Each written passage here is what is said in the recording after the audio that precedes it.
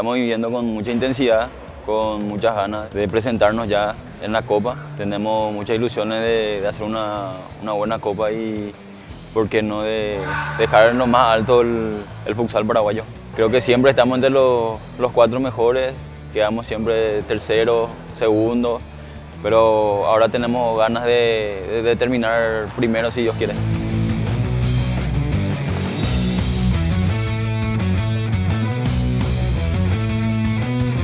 Estuve eh, en la Copa América también en, Ecuador, después fui a Argentina y así como dijiste también que estamos siempre en el podio y yo creo que ahora apuntamos a un poquito más alto a lo que, a lo que veníamos apuntando, ¿verdad?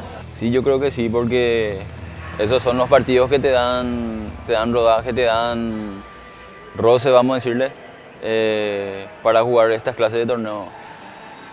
Eh, sabemos que la Copa América es diferente, pero eh, la intensidad de los partidos creo que, que ayudaron a, que los compañeros sepan eh, cómo se debe jugar, cómo, cómo se debe enfrentar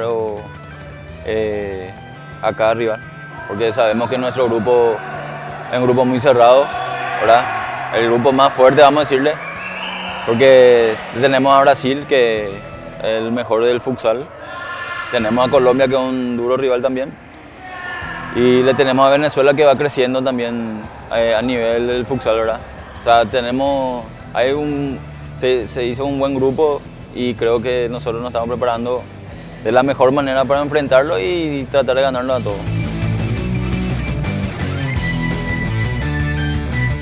Sí, me imagino, me imagino porque estoy muy, muy ilusionado con, con el plantel que tenemos y de la manera que se está trabajando.